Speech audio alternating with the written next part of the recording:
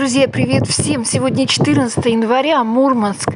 Не обещали нам такого снега, такого ветра, но метет так, что ничегошеньки не видно.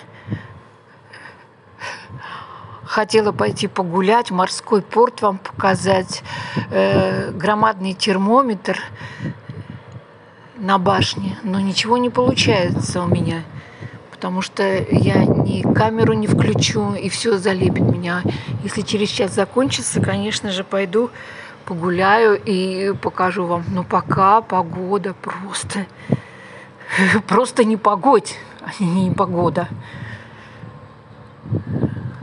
Хотя сейчас минус 2 градуса. Ой, ветрюган какой. Просто невозможно, из рук все вырывает. Вот это да!